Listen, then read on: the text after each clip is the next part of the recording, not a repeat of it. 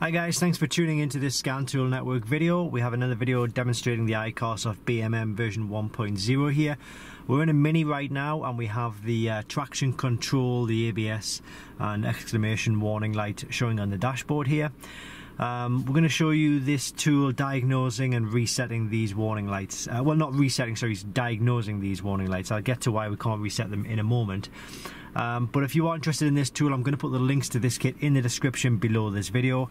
And um, there are fakes, there are clones on the market, so it's really important that you do follow the links in the description. That'll take you to a genuine and official product. So we have this BMM version 1.0 kit tuned, tuned into the uh, diagnostic port, or plugged into the diagnostic port, which is right down there and uh, we're now going to go ahead and select this vehicle so we can see if we can read these fault codes and find out why these warning lights are on so select mini. And we'll just go through the process asking each step.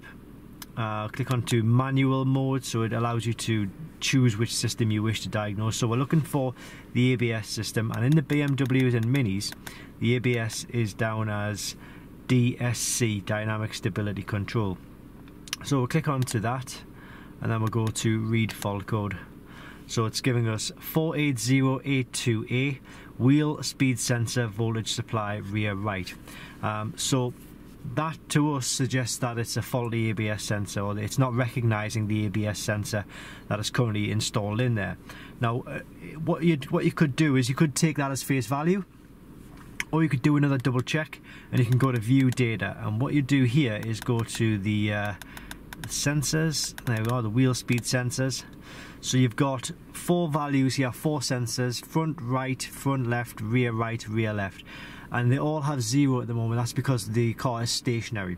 So what you can do is you can drive the vehicle in with this plugged in on this screen here and all of the sensors which are working correctly will show values. If one of the sensors is broken or is, is not working at all, it'll probably show a zero value the whole time.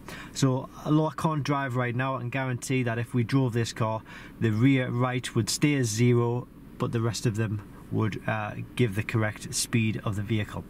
So that's another way of doing it. You can also, if you don't feel comfortable with actually um, looking at the screen while driving, you can just press the record button and it records the data for a certain amount of time and then you can review the data back as well.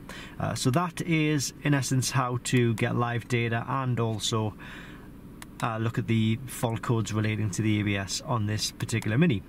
So um, we need to put a new ABS sensor in there. We haven't done it yet. Obviously, that's why we can't reset the warning lights because we need to put a new ABS sensor in first. But once we've done that, we'll be able to use this tool to simply reset the fault codes and get rid of the warning lights as well. So that's the BMW or BMM version 1.0 kit. And as I say, I'll put the links to this kit in the description below this video. Uh, it's a really, really useful kit. This is a genuine kit. There are fakes, there are clones. So if you want to make sure you get your hands on a genuine kit, that will work exactly exactly as we've seen here, then use the link in the description below this video. Thanks for watching, and I hope this helps.